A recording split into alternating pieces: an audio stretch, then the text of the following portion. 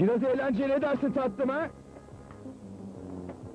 50 bin arabada 100 bin yatak. Onun altına mı kaplatacaksın? Ben bakireyim, her şeyin bir bedeli var. Sağ ol, ben tecrübeli birini arıyorum. Acemi istemem. O zaman ablana git, aradığını bulursun belki.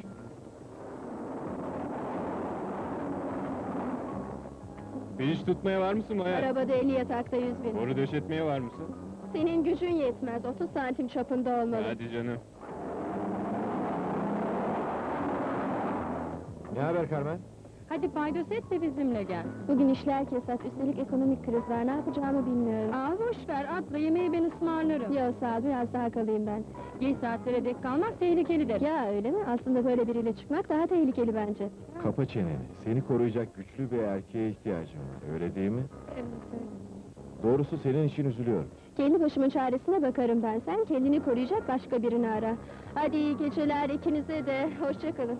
Sen bilirsin. İyi geceler Carmen.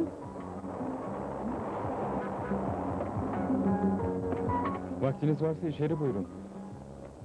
50 bin arabada, 100 bin yatakta. Adınız Carmen değil mi?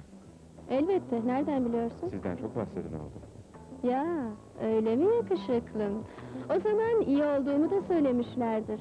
50 arabada, 100 yatakta. Benimle eve de gelir misin? Bu teklifine bağlı. Sadece gel yeter. Sana günde 200 bin veririm. Böyle numaralara karnım tok. Ne yani bana güvenmiyor musun? Hayır, önce paraları görelim. İşte para burada. Atla. Önce dükkanımı kapatayım sonra.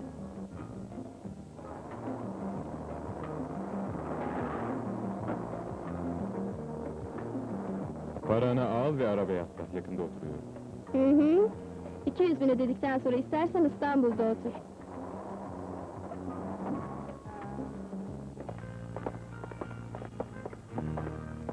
Eşim. Selam, yanılmamışım demek. Hmm, önden fena değil, arkadan da idare eder. Biraz sağa döner misin?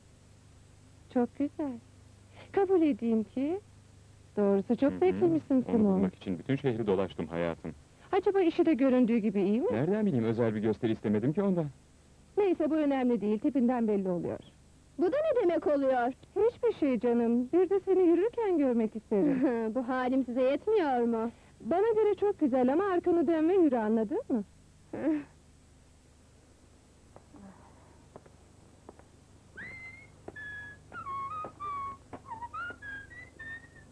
Yeterince gördünüz mü? Ne bakıp duruyorsun? Aa ben sadece yürüyüşüne Bu bakışlarını bakıyordum. çok gördüm ama bunu sana bırakmayacağım. Hadi sen işine bak. Aa saçmalama lütfen hayatım. Saçmalamaymış. Hizmetçiyle kırıştırdığını Bir biliyorum. dakika.